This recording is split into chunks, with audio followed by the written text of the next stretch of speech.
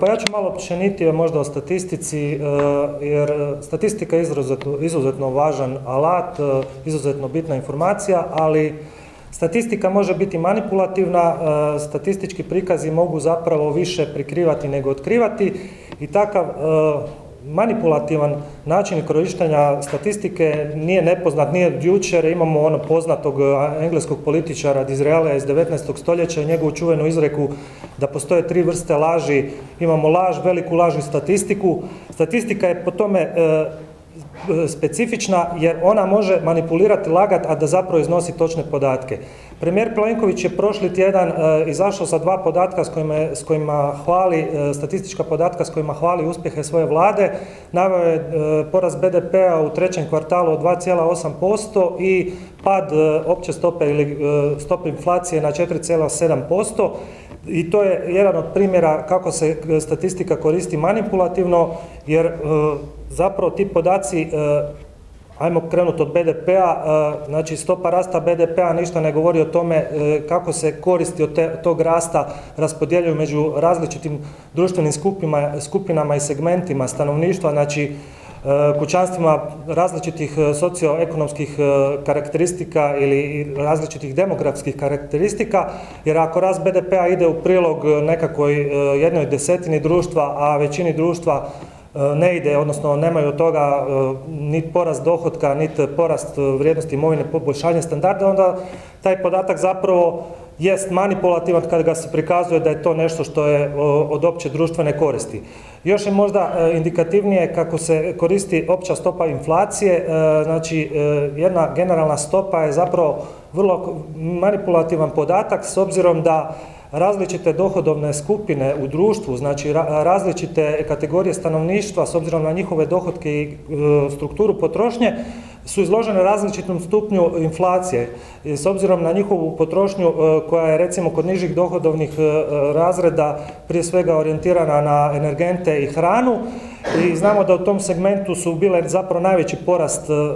cijena, e, dok recimo za neka luksuznija dobra, transport i tako dalje koji konzumiraju bogati nije bila toliko, e, toliko izražena inflacija. I kada se izađe sa stopom, službenom stopom od 4,7%, a ljudi otiđu u dućan i vide da, da je sve poraslo i hrana po 20-30 i više posto, onda se pitaju zapravo ko tu koga. I, i zapravo ta, ta, ta, ta statistička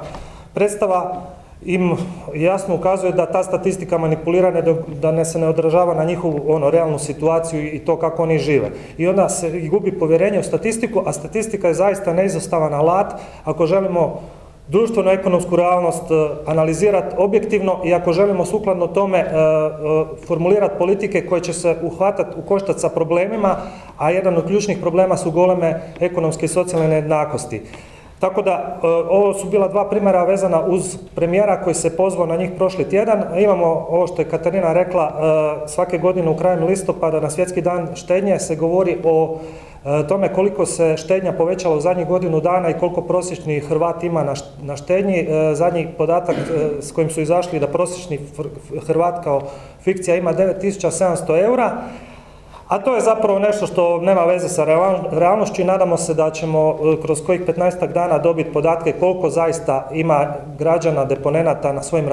računima koje iznose i vjerujemo da će to pokazati jednu sliku bitno drugačiju od one koju prikazuju takve, takve fikcionalne i, i zapravo manipulativne e, statistike ili statistički prosjeci poput prosječnog Hrvata, pa čak i prosječne plaće, pa onda i te opće stope inflacije. Zato je nužno da se statistika mijenja, da se programi statističkih e, aktivnosti mijenjaju, da se uvode dodatni pokazatelji koji će zapravo ukazivati kako se to segmentira, znači i recimo za te glavne makroekonomske agregate poput BDP-a, kako su distribuirane koristi od tog rasta ekonomskog, e, koliko je zapravo ušteđeno, koliko zapravo najveći broj ljudi ima u štednji ili nema. Znači to je vrlo važno i to je nešto što zapravo progresivne e, institucije međunarodne guraju, poput OECD-a i UN-a. Oni su nakon zadnje ekonomske velike svjetske krize 2007-2008 počeli sugerirati zapravo da se postojeća statistika nadopunjuje i korigira,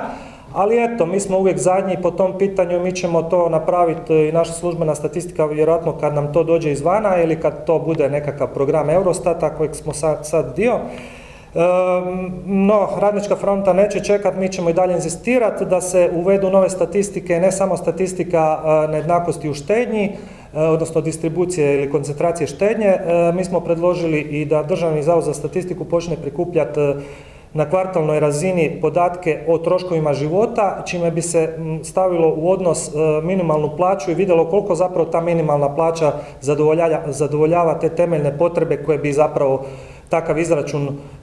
nekakvih osnovnih troškova života dao, a mi takvog izračuna zapravo nemamo. E, dakle, tu je čitav niz zapravo još pitanja koje bi se moglo i trebalo e, drugačije statistički obrađivati i prikupljati i to je osnova da se onda i politike i politike prema tome formuliraju. Znači, narod ima već poznatu izreku, jedni jedu meso, drugi jedu kupus, a statistika nas uvjerava da svi jedemo sarmu E pa RF se zalaže za to da e, vidimo točno, da statistika bude takva da vidimo koliko njih jede meso, koliko njih jede e, e, kupus, a ne da, da dobijamo podatke o tome u nekom fikcionalnom Hrvatu koji jede navodno sarmu, odnosno svi smo mi taj fikcionalni prosječni Hrvat. Evo, to je, to je ovaj, nadamo se da će ti podaci izaći i da to nije bila ovaj, kako bi rekao, još jedna u nizu ovaj, dezinformacija koje smo do sada dobijali.